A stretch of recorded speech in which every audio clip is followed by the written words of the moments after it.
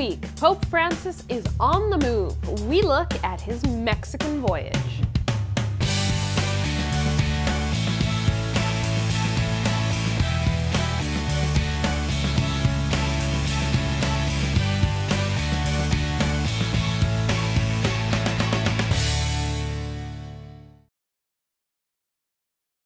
Hello and welcome to this edition of Vatican Connections. It's been quite a week, and we are going to take an in depth look at the Pope's visit to Mexico.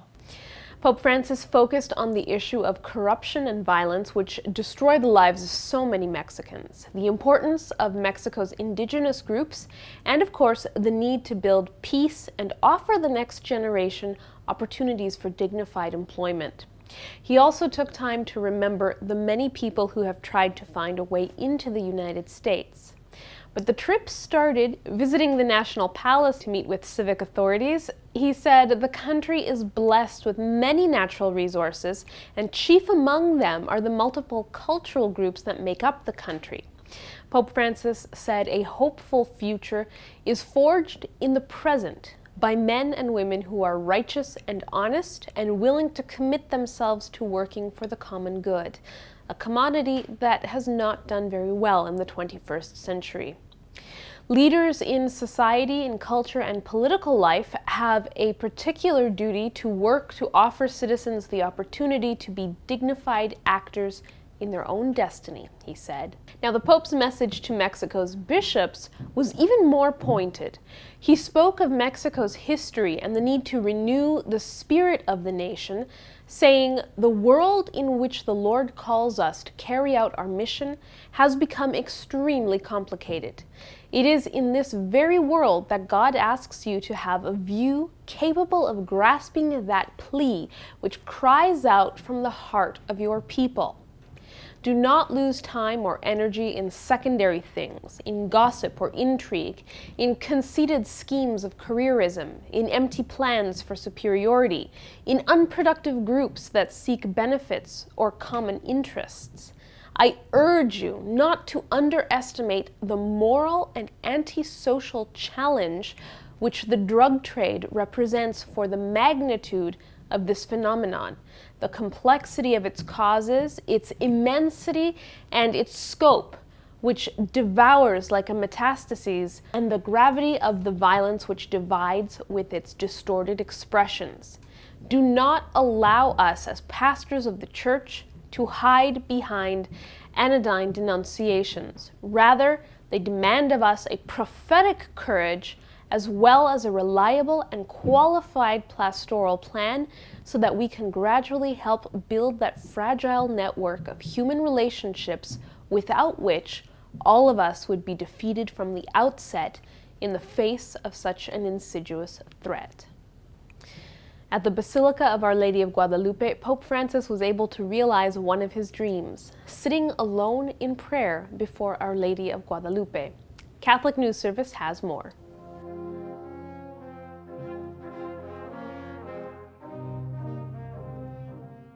María, la mujer del sí, también quiso visitar a los habitantes de estas tierras de América en la persona del indio San Juan Diego. Así como se hizo presente al pequeño Juanito, de esa misma manera se sigue haciendo presente a todos nosotros, especialmente aquellos que como Él sienten que no valían nada. Esta elección particular, digamos preferencial, no fue en contra de nadie, sino a favor de todos.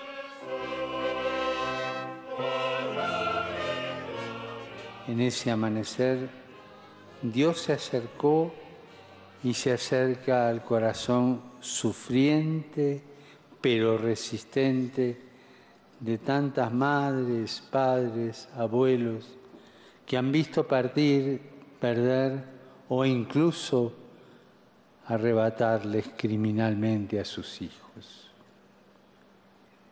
En ese amanecer, Juancito experimenta en su propia vida lo que es la esperanza, lo que es la misericordia de Dios.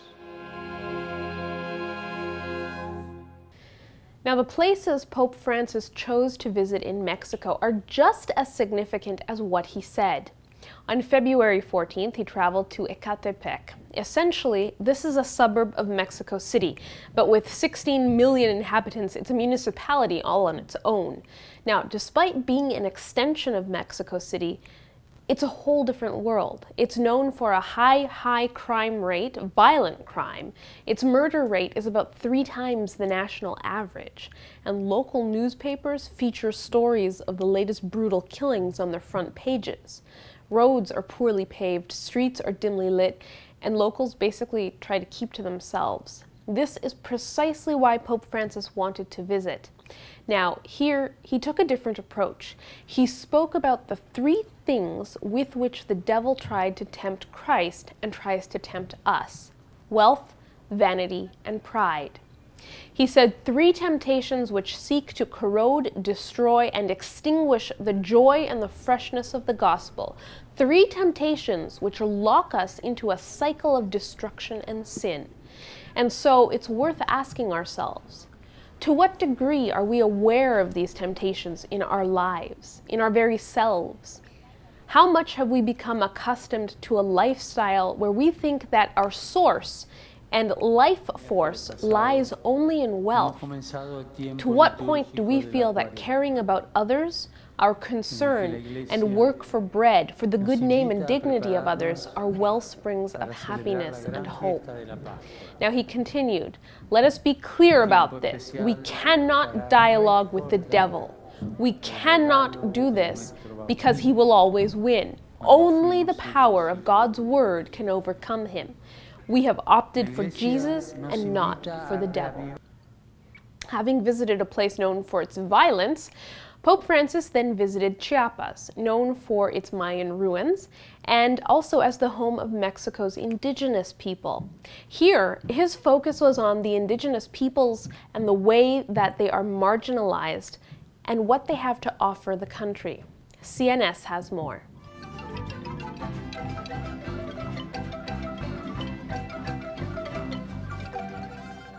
El desafío ambiental que vivimos y sus raíces humanas nos impactan a todos y nos interpelan. Ya no podemos hacernos los sordos frente a una de las mayores crisis ambientales de la historia. En esto ustedes tienen mucho que enseñarnos, que enseñar a la humanidad. Sus pueblos, cómo han reconocido, han reconocido los, obispos de América Latina, saben relacionarse armónicamente con la naturaleza, a la que respetan como fuente de alimento, casa común y altar del compartir humano. Sin embargo, muchas veces de modo sistemático y estructural, vuestros pueblos han sido incomprendidos y excluidos de la sociedad. Algunos han considerado inferiores sus valores, sus culturas, sus tradiciones.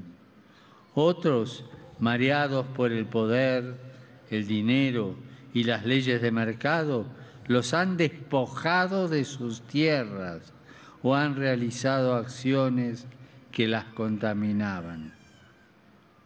Qué tristeza. Qué bien nos haría a todos hacer un examen de conciencia y aprender a decir perdón. Perdón, hermanos. El mundo de hoy despojado por la, por la cultura del descarte, los necesita a ustedes. Los jóvenes de hoy, expuestos a una cultura que intenta suprimir todas las riquezas características y diversidades culturales en pos de un mundo homogéneo, necesitan estos jóvenes que no se pierda la sabiduría de sus ancianos.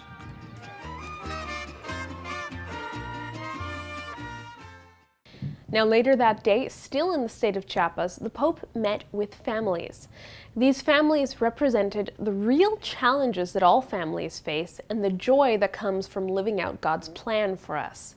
He met a family that has a physically disabled child, a single mother, a couple that's in a second marriage, and a couple that has been happily married for 50 years he noted the way that the parents of the disabled child knelt by his side to hold his paper and his microphone. And he told the crowd, Don't forget this image because it is an example of selflessness and the self giving that is required in family life. Now, referring to the couple in a second marriage, he thanked them for their testimony and he said, that he found it powerful that they have become integrated into the life of the church and their parish by taking part in ministries to visit the sick and to help the less fortunate. And he was moved when they said that even though they cannot receive the Eucharist, they feel that they receive communion when they sit with the sick, when they deliver food to a family in need, or whenever they do something that involves giving of themselves for someone else. Then he praised the single mother for choosing life when so many people around her tried to offer her the false solution of abortion. And he praised the elderly couple for being an example to younger generations of what it takes to be a family and to be together for half a century. Now, again, as he said so many times, Pope Francis said that in a family there is a great need to learn patience and forgiveness, and the most important thing is not to let the sun go down on an argument, because at the next morning the sun will rise on a cold war. Talk it out, yell if necessary, throw plates if needed, but resolve the issue.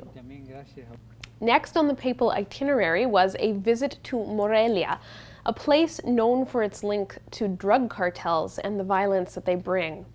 At Mass in Morelia, Pope Francis spoke again about the ways the devil tempts us.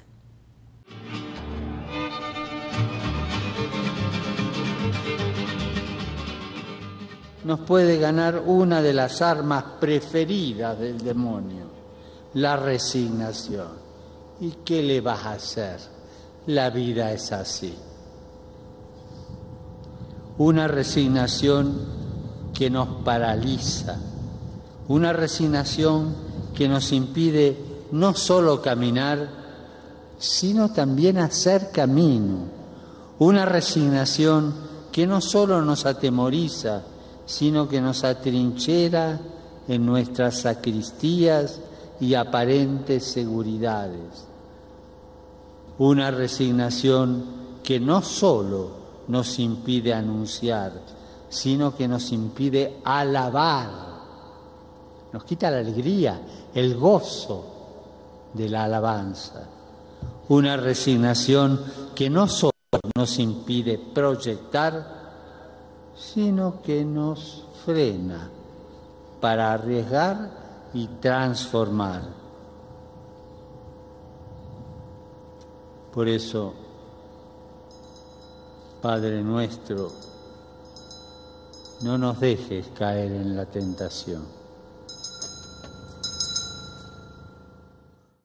Morelia was also the site of a fantastic meeting with young people. Now, spectacularly orchestrated, the meeting featured testimonies from young people from different parts of the country. The running theme in their testimonies was hope. Young people are viewed as hope for the future, but when they look around and they see little reason for hope, they see violence, unemployment, and inequality. Then they asked, so what do we do with this? Pope Francis took notes, as usual, as the young people spoke, and then he answered their questions, drawing on his prepared text and adding to it based on what they said. The key your source of hope is Jesus Christ. Only He is true freedom, true wealth, and true happiness, Pope Francis said. He added that you are the wealth of your nation. And note the word wealth. A mountain can have minerals and is rich in minerals, but richness has to be converted into hope. The biggest threat to hope is when you feel that you do not matter to anybody or that you have been left aside. This is the great obstacle to hope when, in a family, society, school, or a group of friends, you are made to feel unimportant to them. This is hard and painful, but it does happen, he said. Continuing, a second threat is actually beginning to believe you are valuable. You begin to be valuable when you start wearing the right clothes, the latest brands and fashions, or when you start enjoying prestige and importance because you have money. But in the depths of your heart, you do not believe that you are worthy of kindness or love, and this is something which your heart intuits. Only Jesus can convert this wealth into hope, the Pope said. Hand in hand with Him, we can move forward. Hand in hand with Him, we can begin again and again. Hand in hand with Him, we can say it is a lie to believe that the only way to live or to be young is to entrust oneself to drug dealers or others who do nothing but sow destruction and death. This is a lie, and we say it holding on to Jesus' hands. It is also hand in hand with Jesus Christ, with the Lord, that we can say it is a lie that the only way to live as a young person here is in poverty and exclusion, in the exclusion of opportunities, in the exclusion of spaces, in the exclusion of training and education, in the exclusion of hope. It is Jesus Christ who refutes all attempts to render you useless or to be mere mercenaries of other people's ambitions. Now, the meeting ended with a spectacular display of Mexico's musical and artistic talents as a mission cross was blessed and handed over to representatives of every Mexican diocese. The final leg of the trip took place in Ciudad Juarez, which sits right on the border with the United States. This location was poignant for many reasons, Juarez is also in the grip of drug violence, but it's also the place where so many Mexicans and Central Americans try to cross into the U.S. to look for work and freedom from that violence. Pope Francis visited a prison where he was greeted by 20 female and 30 male prisoners, some of whom really looked like little more than children. Now, he told them every time he enters a prison, he asks himself, why them and not me? Adding that this is the mystery of divine mercy. And then using the Jubilee of Mercy as a starting point, he said, Mercy reminds us that reintegration does not begin within these walls. Rather, it begins before. It begins outside in the streets of the city. Reintegration or rehabilitation begins by creating a system which we could call social health. That is, a society which seeks not to cause sickness, polluting relationships in neighborhoods, schools, town squares, the streets, homes, and in the whole of social spectrum. A system of social health is one that endeavors to promote a culture that acts and seeks to prevent those situations and pathways that end in damaging and impairing the social fabric. Now, the problem of security is resolved, he said, not by incarcerating, rather, it calls us to intervene by confronting the structural and cultural causes of insecurity that impact the entire social framework. He said celebrating the Jubilee of Mercy with these prisoners meant not being prisoners of the past or of yesterday. It means learning to open the door to the future, to tomorrow, and it means believing that things can change. Celebrating the Jubilee of Mercy with you, he said, means inviting you to lift up your heads and to work in order to gain this space of longed for freedom. Celebrating the Jubilee of Mercy with you means repeating that phrase that we heard put so well and with such force. When they sentenced me, someone said, Don't ask why you are here, but for what purpose. And this for what purpose must carry us forward. This for what purpose must help us jump over the hurdle of this social ploy which believes that safety and order is only achieved by incarcerating people. Now, at the prison, the Pope was given a wooden crozier made by inmates, and we saw that crozier again when Pope Francis celebrated Mass at the Ciudad Juarez Fairgrounds on the U.S. Mexico border. Catholic News Service has more on the Pope's final Mass in Mexico.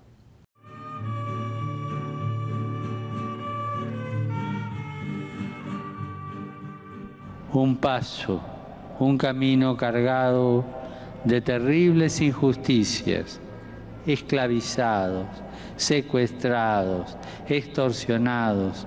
Muchos hermanos nuestros son fruto del negocio de tráfico humano, de la trata de personas. No podemos negar la crisis humanitaria que en los últimos años ha significado la migración de miles de personas.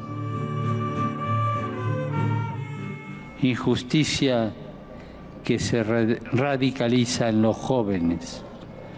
Ellos, carne de cañón, son perseguidos y amenazados cuando tratan de salir de la espiral de violencia y del infierno de las drogas. ¿Y qué decir de tantas mujeres a quienes les han arrebatado injustamente la vida?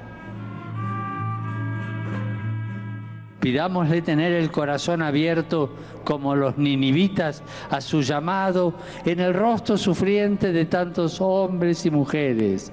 No más muerte ni explotación.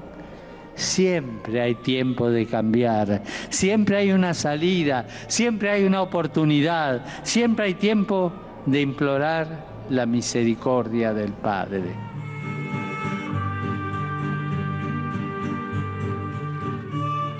Just before the Mass, Pope Francis stopped at a place called El Punto that serves as a memorial for all the people who have lost their lives trying to get into the United States. He prayed silently and blessed crowds that were actually gathered on the U.S. side of the Rio Grande. In El Paso, Texas, just on the other side of the border from Juarez, tens of thousands of people were gathered at the Sun Bowl, where the Pope's Mass was simulcast and after the Pope's homily, bishops sat silently facing in the direction of the Juarez fairgrounds and the papal altar in order to meditate on the Holy Father's words. Pope Francis thanked the people of El Paso in his homily for making us feel like one Christian family.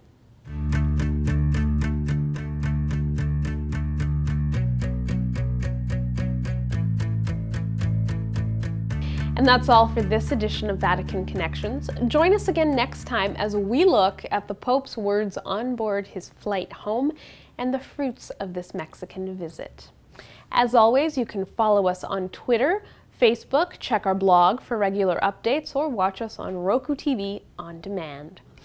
From everyone here, thanks for watching, and we'll see you next time, but we'll leave you with these images from the Pope's trip.